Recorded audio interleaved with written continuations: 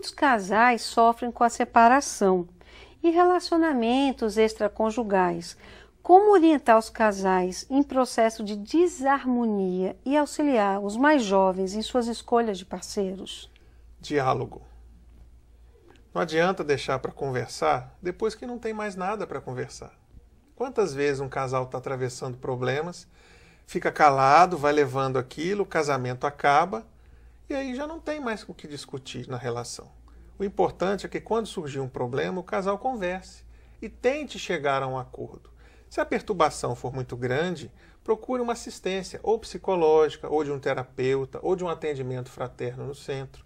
Faça um tratamento espiritual, que muitas vezes existem espíritos que estão interferindo na relação do casal. Em relação aos jovens, o que pode ser feito é uma boa orientação. O jovem precisa se conhecer para poder saber escolher, saber o que ele quer e saber encontrar no outro é, é, não a cara metade, mas alguém que ele possa passar um bom tempo. Porque hoje os relacionamentos estão durando muito pouco porque as pessoas estão agindo por impulso. E as paixões não são boas conselheiras. Né? Quantos é relacionamentos desmoronam por causa das paixões?